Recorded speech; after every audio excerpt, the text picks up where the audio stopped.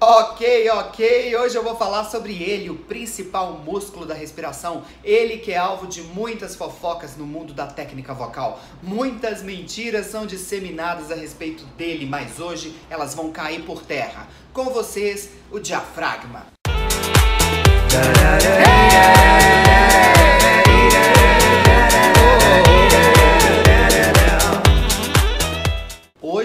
te contar tudo sobre o diafragma, esse músculo que é o músculo mais importante da respiração. Para você ter uma ideia, se ele não estivesse funcionando direitinho, você não estaria respirando, ou seja, você estaria morto.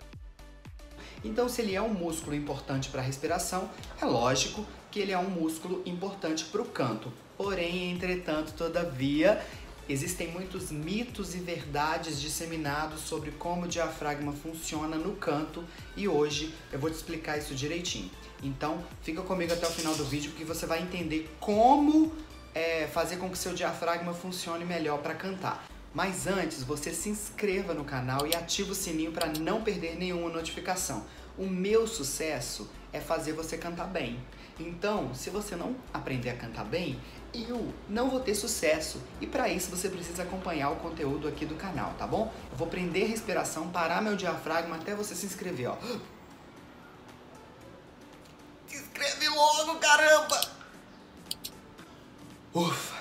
Já se inscreveu? Então vamos lá.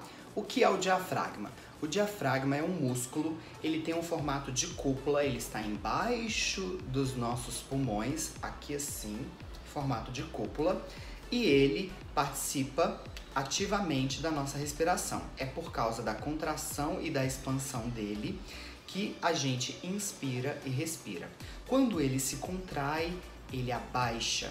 Isso muda a pressão interna do nosso corpo e faz com que a gente puxe o ar de fora do ambiente aqui para dentro no, do nosso corpo, lá nos nossos pulmões. E aí esse ar vai lá para os pulmões, onde ele retira o oxigênio e manda para a corrente sanguínea e faz a troca gasosa ali de oxigênio por gás carbônico, porque a gente precisa do oxigênio para produzir energia.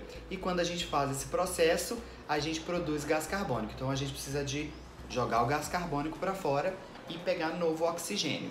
E o diafragma vamos dizer assim, é a válvula que faz essa troca aí, né? E o nosso diafragma, ele funciona de uma forma, né? Automática. É isso mesmo. O nosso diafragma, ele já está fazendo isso desde o momento que a gente nasceu até o momento que a gente morrer. Né?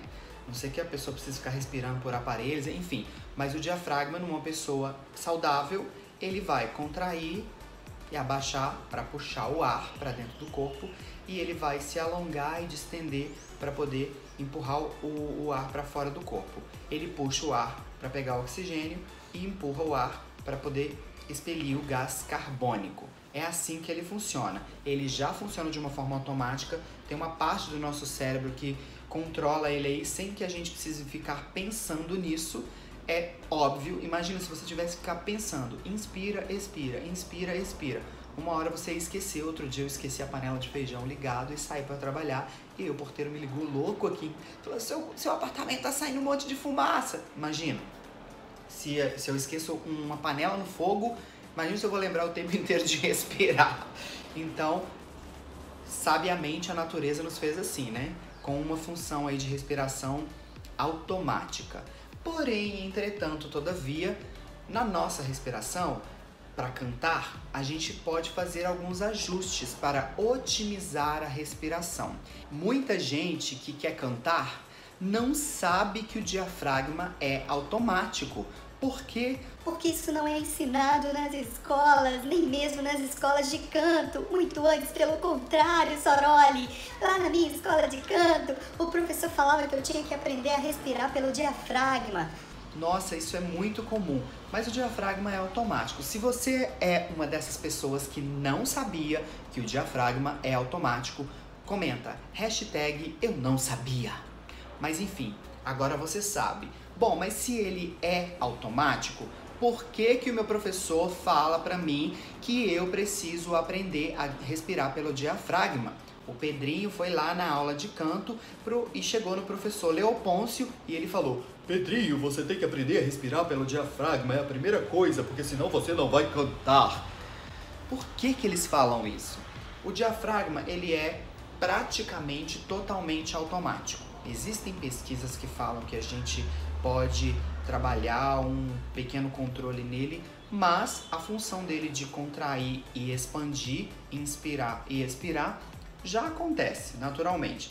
Aí, se eu já faço isso naturalmente, por que, que eu tenho que fazer alguma coisa para pra na hora de cantar eu tenho que fazer diferente? Vou te explicar agora. Seguinte, o nosso ciclo respiratório, ele, ele dura 4 segundos. O ciclo respiratório, o que, que é isso? Inspirar e expirar. A gente gasta, em média, 4 segundos para fazer isso. Para aí sem fazer nada, só sentadinho e presta atenção na sua respiração quantos segundos você está levando para inspirar e expirar em repouso.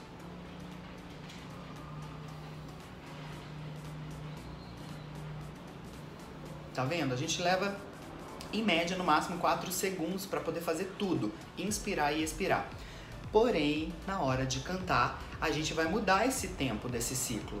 Muitas vezes a gente inspira bem rápido e expira mais lentamente. Então a gente tem que inspirar num tempo muito mais curto, menos de um segundo, porque é o tempo que a gente tem para respirar na música, para inspirar na música, né? E, e a gente tem que cantar uma frase muito longa, uma nota muito longa. Ou seja, isso aí, a nossa voz acontece durante a expiração.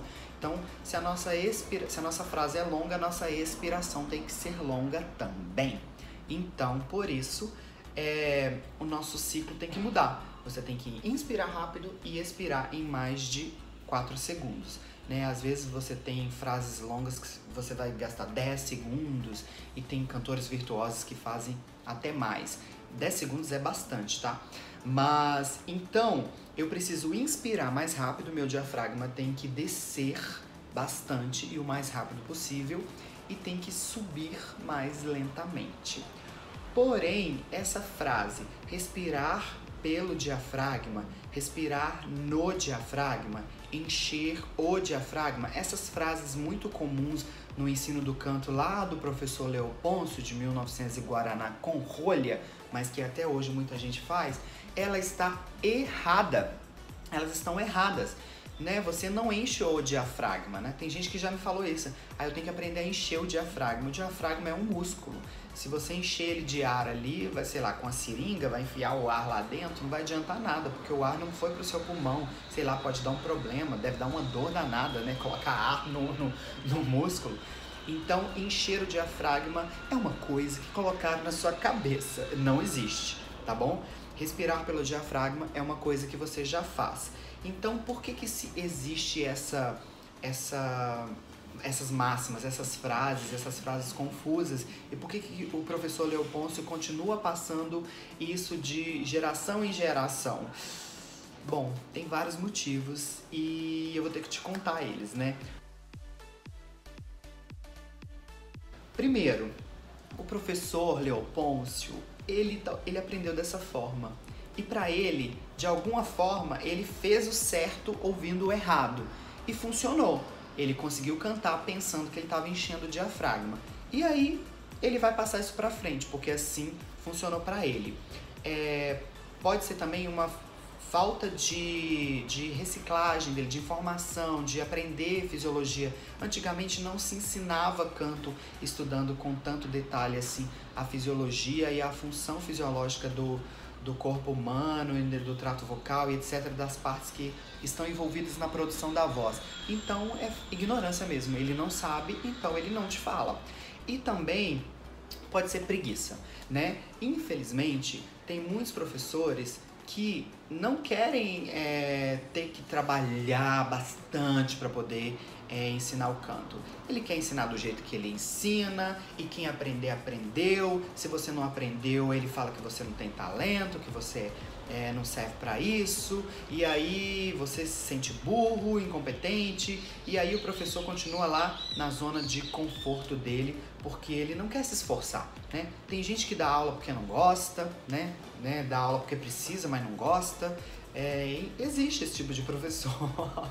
então, ele vai te falar a informação mais fácil para ele. Às vezes ele cobra um valor que ele acha que ele deveria ganhar mais, mas ele não consegue cobrar mais porque, enfim, por questões de, de paradigma dele. Então ele vai te dar aula do jeito mais gastando menos energia possível e ele não vai estudar mais para poder se reciclar, enfim. Então, se você acha que o seu professor se enquadra em algum desses perfis, comenta aqui embaixo. Eu suspeitei desde o princípio, Soroli. então, agora você encontrou um professor que não tem preguiça de estudar. Eu tô aqui, eu não tenho preguiça de estudar, eu fico tentando entender cada dia mais, um pouco mais sobre técnica vocal e eu quero compartilhar essa informação do diafragma com você. Ele já funciona, ele não se infla, é, porém, entretanto, todavia, tem um mecanismo aí durante a respiração que a gente tem que ajustar para a gente inspirar mais rápido e expirar mais lento, que vai interferir no funcionamento do diafragma. Não diretamente, a gente não vai controlar ele, mas a musculatura que está em volta vai interferir beneficamente no funcionamento dele. Uau, então tem como eu ajudar meu diafragma a trabalhar melhor? Sim, tem. Como fazer isso? Então, como ajudar o meu diafragma a trabalhar melhor? Bom, tem várias formas da gente fazer isso. De acordo com as escolas nacionais de canto do Ocidente, as quatro principais, italiana, alemã, inglesa e francesa, existem vários ajustes possíveis que beneficiam a respiração. Eu até já fiz vídeo sobre isso, vou deixar aqui no card para vocês é, as formas de respirar, tá bom? Mas eu vou te explicar basicamente o que eu faço hoje em dia. Eu me baseio na escola italiana, que vai fazer, vai propor ajustes para que a gente inspire mais rápido e melhor e a gente expire mais devagar e mais controlado. Isso eu uso no belting contemporâneo, enfim, em todas as formas que eu vou aplicar minha voz cantada e falada. Por quê? Porque ela me traz vários benefícios além desse. Então, mas não é a única forma, né? Tem professor que fala, ah, coloca a barriga para fora, tem professor que fala, coloca a barriga para dentro, e nenhuma das duas formas está errada.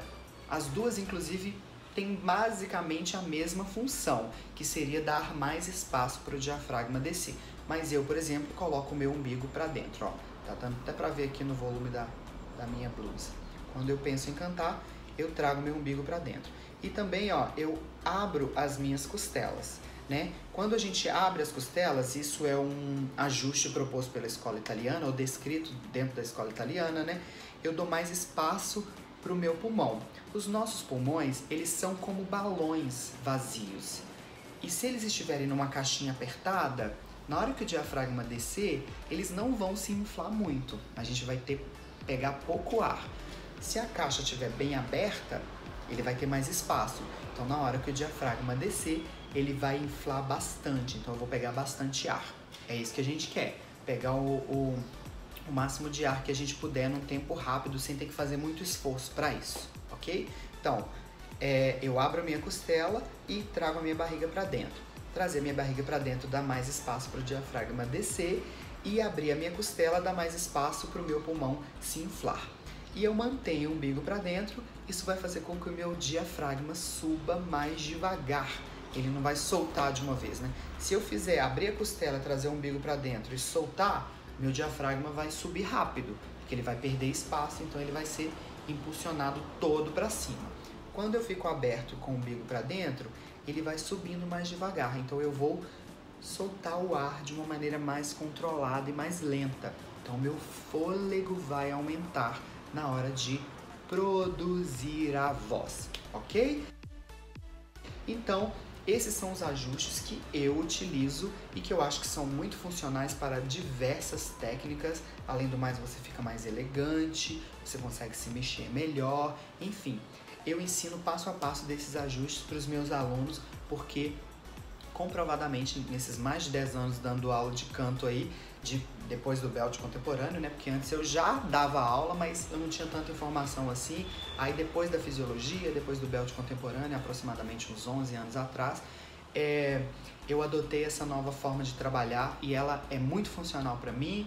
Eu uso a minha voz de segunda a segunda, me ajuda a controlar, a ter um fraseado mais controlado, a não soprar muito, a não gastar muita energia, a me mexer enquanto eu canto, a cantar notas agudas. Então, aposte nesses ajustes. O mínimo que eu quero que você faça é experimentar esses ajustes para ver se seu diafragma funciona melhor. Garanto para você que ele vai agradecer, tá bom? Se você gostou desse conteúdo, já dá um like, comenta aqui embaixo. Amei conhecer o diafragma e eu quero saber se você gosta desse tipo de conteúdo de fisiologia, porque vocês pediram muito conteúdo de fisiologia no vídeo que eu falei dos novos quadros aqui. Então agora você vai se inscrever nesse canal e ativar o sininho para não perder nenhuma notificação, porque tem muitos novos quadros para estrear aqui no, no canal ainda, várias formas de você estudar canto, muito conhecimento de ponta compartilhado com você, porque como eu já falei, o meu sucesso é fazer você